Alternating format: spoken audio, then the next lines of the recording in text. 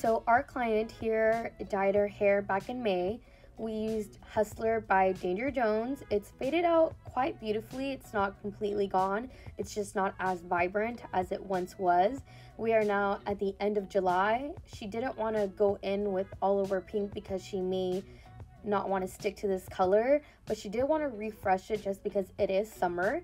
So we went ahead and offered her the color depositing mask by Moroccanoil in hibiscus just because that's going to be the most closest to hustler and danger jones. The color depositing mask is great for revamping your color in between appointments. Now it does work as a conditioner so you're going to use it as such. Now we are going in with shampooing her hair with the Loma Nourishing Shampoo just because her scalp was a little dry and we do want to go ahead and hydrate that scalp and locks before applying this mask.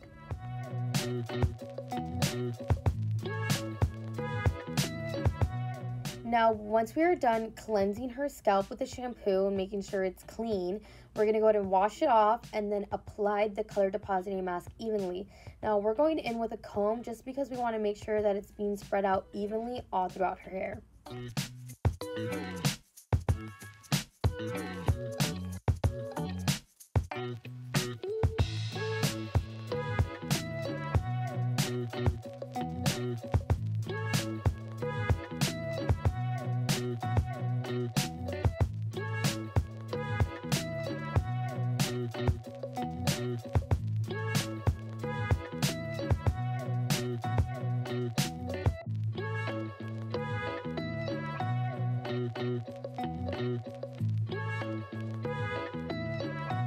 Now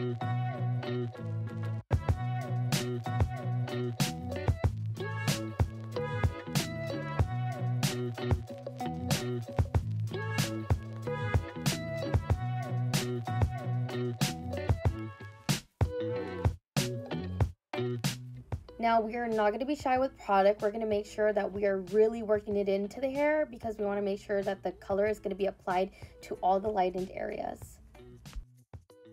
Now once we are all done, we're going to let that mask sit for 10 minutes.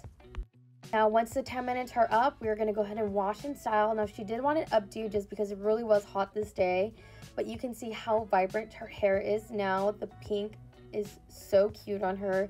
It's almost like she dyed her hair again without dyeing her actual hair.